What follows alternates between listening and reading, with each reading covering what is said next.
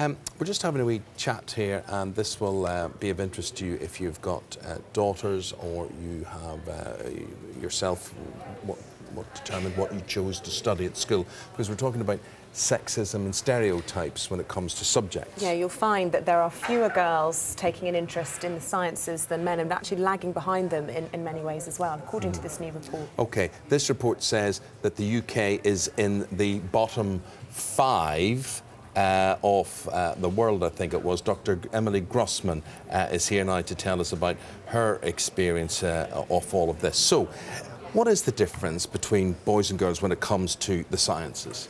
Well, much fewer girls, far fewer girls are studying science still. And I believe one of the main reasons is that girls suffer from what's called imposter syndrome, which starts at a really young age where girls underestimate their abilities. They think if they did well, it was just because it was an easy exam or they had help. So they're really suffering from confidence, and that's in an environment where maths and sciences have traditionally always been seen as subjects more for boys. And yes, that was a long time ago, but we're still suffering from that. 150 years ago, women were being told that their skulls were too small to house a powerful brain, that really? their brain was too soft for mm. rigorous study. Well, why, and, why, and, Emily, and why is it then we have more women GPs, for instance, than we do men? Well, women do struggle in an environment where it's really competitive. Now, perhaps GPs are not having to put themselves forward as much in a competitive industry, but certainly in a school environment, the girls that I tutor that come from mixed schools, which is a much more competitive environment, particularly where they're taught by men, are being really pushed to succeed in mm. a way that's not nurturing and supportive, and a lot of them sit at the back and don't put their hands up because they're scared to get it wrong. So there's no physiological reason why girls and boys cannot be absolutely identical identical in achievement in science. Absolutely there is not. absolutely no absolutely reason not. physiologically. It's, it's, all about how they feel about their abilities and whether they're encouraged and supported in a nurturing way by the teaching environment and also by their parents.